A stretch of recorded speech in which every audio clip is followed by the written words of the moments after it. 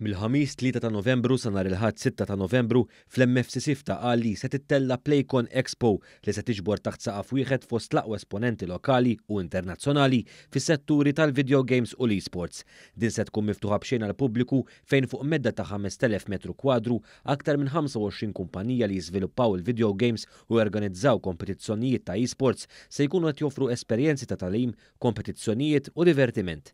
Fil-fatt, waqt li żar l-aħħar preparamenti għal din l-Expo, il-Ministru għall-Ekonomija, l-Fondi Ewropej u l-Artijiet Silvio Schembri ġie spjegat kif fost oħrajn fil-jiem li ġejjin se jiġu organizzati numru ta' kompetizzjonijiet tal-eSports fejn aktar minn 500 kompetitur tal-logħob Fortnite, Tekken 7 u Sim Racing fost oħrajn irreġistraw fuq il-pjattaformi online għal kompetizzjonijiet bi premjiet minn Playcon.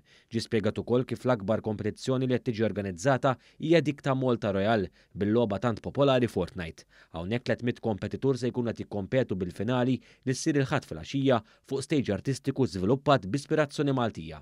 Dwar it-temi prinċipali li fuqhom hija msejsa din l-expo tant popolari ma' ħafna Maltin, tkellimna ma' Stephen Bezzina. Din is-sena reġa' għandna Playcon magħna. Playcon attività organizzata minn GMR u Gaming Malta fejn fiha qegħdin nerġgħu nħarsu lejn id-dinja tal-eSports, game development u game design. Bezzina spjega wkoll kif kumpaniji internazzjonali bħal Microsoft, Xcient, ESL u kumpaniji oħra se jkunu parti minn Playcon. Fil-fatt il-Kap Eżekuttiv ta' ESL, Jaap Visser, spjega wħud mill-attivitajiet li ser ikunu qed itellgħu waqt din l-edizzjoni ta' Playcon. Yes, we at with ESL we are at Playcon doing some different activities, we have our own small league where people can compete, we have our own merchant shop, merchandise shop where people can buy ESL merchandise and play some FIFA and Rocket League.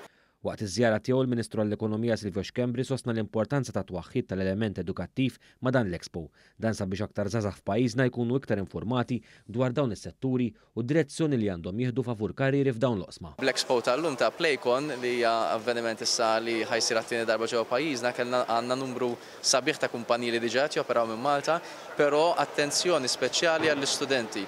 Rajna kif ninvolvu ammont ta' studenti minn 70 skola madwar Malta u Għawdex, ħa jkun hawn 5,000 student li ħa jiġu hawnhekk u ħa nkunu qegħdin naraw li jkun hemm l-entitajiet bħall-Università, l-MCAST li jispjegawlhom x'tip ta' courses qegħdin joffru għalihom u x'opportunitajiet din l-industrija tista' toħloq.